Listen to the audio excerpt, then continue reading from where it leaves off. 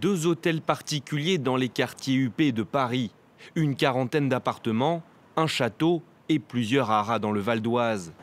Estimé à 90 millions d'euros, cet empire immobilier est la propriété de Rifat al-Assad.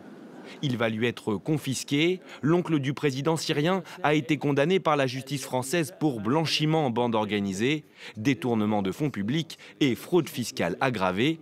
Quatre ans de prison, ses avocats vont faire appel. C'est une décision extrêmement sévère et surtout qui nous paraît absolument injustifiée euh, de manière parfaitement objective, puisque je vous rappelle qu'il n'existe au dossier aucun fonds d'origine syrienne, aucun fonds. Et qu'à contrario, tous les flux financiers qui sont au dossier ont tous une origine parfaitement licite. Dans cette affaire, toute la question est de savoir d'où provient l'argent de Rifat al-Assad. Euh, c'est une décision juste euh, compte tenu de la gravité des comportements dont il s'agit, parce qu'on parle d'un patrimoine immobilier qui était d'une valeur colossale, et c'est aujourd'hui ce qu'a retenu le tribunal.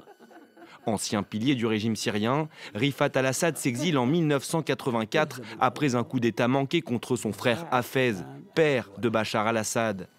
Celui qui se présente aujourd'hui comme un opposant s'établit alors en Suisse, puis en France, acquis pour la plupart dans les années 80, ses biens immobiliers sont détenus par des sociétés nichées dans des paradis fiscaux. Âgé de 82 ans, Rifat al-Assad ne s'est pas présenté devant le tribunal. Il avait fait de même en décembre dernier. Ses avocats avaient alors avancé un état de santé fragile.